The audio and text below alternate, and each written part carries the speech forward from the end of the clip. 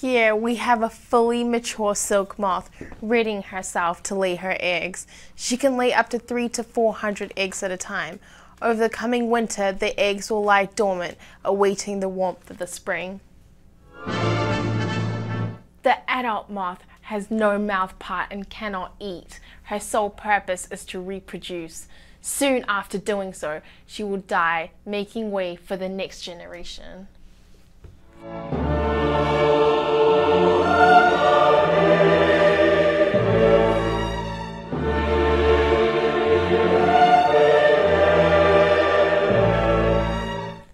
Extraordinary.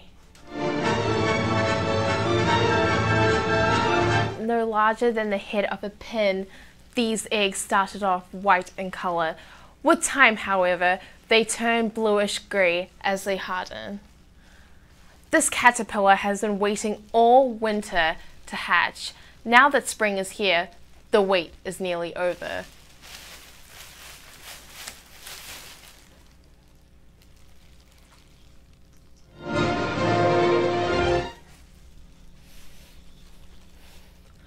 This newly hatched caterpillar has a lot of work ahead of him. Over the next several weeks, he will molt four times for a total of five instars. All this growth is going to require him to be eating constantly, and he's a very picky eater.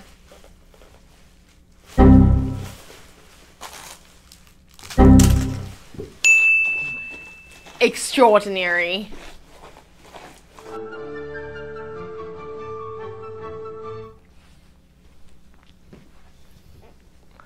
Having finished his final molt and having eaten his mulberry leaves, the next step on his journey will be to find a suitable location to spin his cocoon. His silk is made in, in modified salivary glands and is exuded through his spinnerets. He will produce a single strand a kilometer long before he is finished. Extraordinary.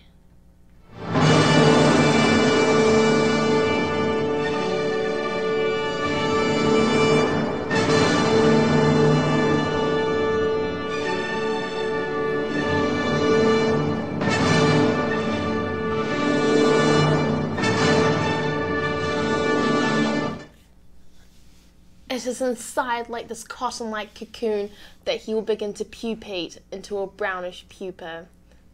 Extraordinary.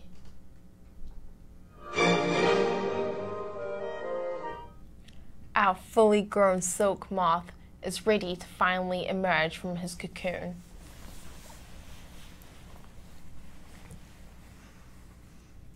Fascinating. In about an hour, his wings will unfurl and he'll be ready to find a mate of his own.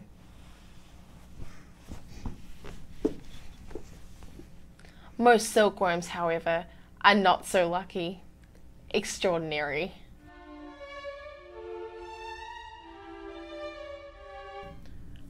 Most silkworms' journeys end here. Cultivators boil or stem them to unbind the silk for fabric extraordinary